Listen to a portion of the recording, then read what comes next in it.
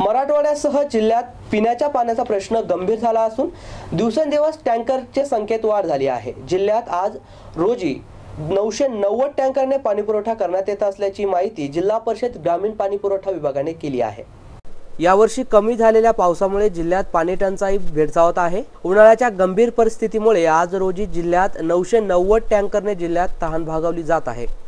यात सहाशे चोवीस खाजगी व शासकीय टँकरचा समावेश आहे. जिल्ह्यातील सहाशे वीस गावी आणि एकशे सोळा वाड्यांना टँकरने पाणी पुरवठा केला जात आहे. दरम्यान जिल्ह्यात टँकर वेळेवर येत नसल्याची ओरड ग्रामीण भागातून होत आहे. पाणी टंचाईत टँकर गावात येत नसल्याने ग्रामस्थ सरपंचांना वेस्टीज धरत आहे.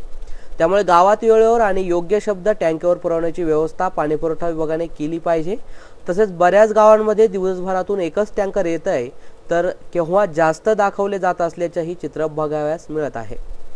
जिल्ह्यात अद्यापही जनावरांना पिण्याच्या पाण्याची व्यवस्था ग्रामीण पुरवठा विभागाने केली नाही. त्यामुळे ग्रामीण भागामध्ये जनावरांची पिण्याच्या पाण्यासाठी मोठ्या प्रमाणात हाल होत असल्याचे दिसून येत आहे.